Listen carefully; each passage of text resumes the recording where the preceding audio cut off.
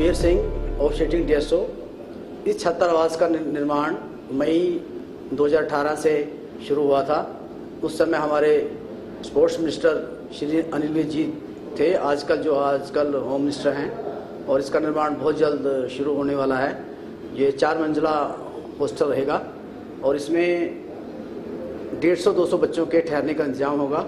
और इससे ये फ़ायदा होगा कि हमारे अम्बाला को कुछ sports academies government of India की तरफ़ से और स्टेट की तरफ़ से मिलने जा रही हैं, जिसमें खासकर जिमनास्टिक, स्विमिंग, फुटबॉल, तीन चार गेमें ऐसी रहेंगी जिनके ठहरने की व्यवस्था यहाँ बच्चों को होगी। इसके अलावा अगर कोई प्रतियोगिता राष्ट्रीय स्तर की, अंतर्राष्ट्रीय स्तर की कोई प्रतियोगिता होती है तो उसमें बच्चों को ठहरने के लिए एक हमें जगह मिल जाएगी ताकि हम कोई भी चैंपियनशिप करा सकें। यह अम्बाड़ा के लिए बहुत बढ़िया रहेगा।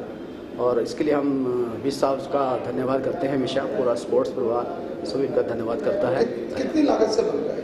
इसकी लागत तेरह करोड़ से बन रहा है और जल्द शुरू हो जाएगा। छात्रावास बिल्डिंग काम पूरा हो गया फिनिशिंग हो रही है अभी उसमें फर्नीचर लगेगा इक्विपमेंट लगेगा बहुत बेहतरीन छात्रावास बना के दिया है खिलाड़ियों को